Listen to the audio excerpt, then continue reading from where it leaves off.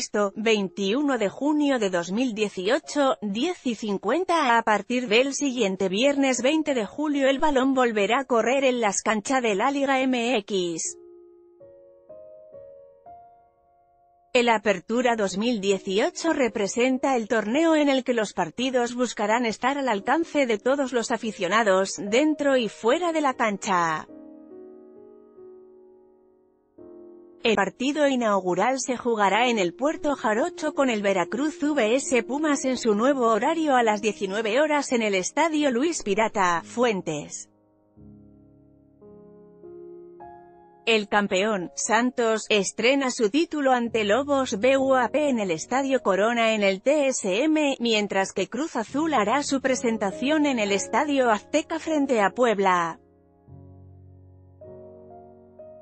Para la fecha 2, América estrenará horario recibiendo al Atlas en la jornada 2, el cotejo será a las 19 horas en el Estadio Azteca, Guadalajara se presentará ante su afición al recibir a Cruz Azul.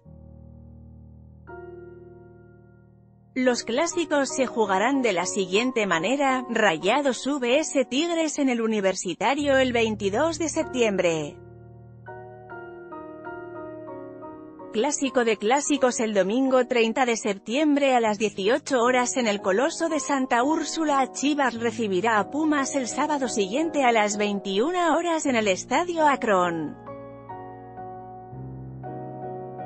clásico joven entre América y Cruz Azul será visita el 27 de octubre a las 21 horas. La fiesta grande iniciará el 28 de noviembre y en caso de que Chivas llegue a la final del torneo se tendrá que aplazarse hasta los días 26 y 29 de diciembre. Haz clic aquí para conocer el calendario de la liga.